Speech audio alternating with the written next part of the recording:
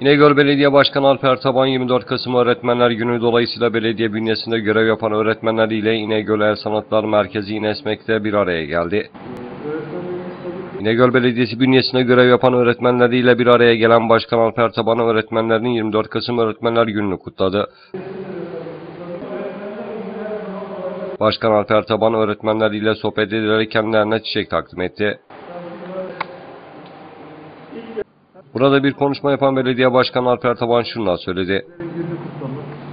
E, nihayetinde e, tüm arkadaşlarımız tabii ki kıymetli ama öğretmen deyince öğretmen tabii çok daha farklı bir meslek. Ben de mesela öğrencilere bazen şunu söylüyorum. Yani geriye dönsem öğretmen olmak isterim. Yani yeniden başlaması. Kendimi yakıştırdığım bir meslek yani öyle söyleyeyim. Ve çok e, gerçekten insanlara bir şey öğretebilme çabası, gayreti ve o heyecanı meslek boyunca devam ettirebilmek çok kıymetli bir şey olsa gerek.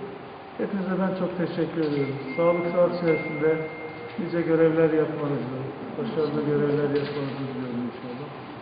Ee, sağlık içerisinde en önemlisi artık günümüzde, zamanımızda. Böyle e,